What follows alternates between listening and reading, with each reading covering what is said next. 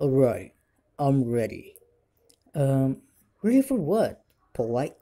I mean, I'm ready for the scanning. You're not even in WWE 2K22. Huh?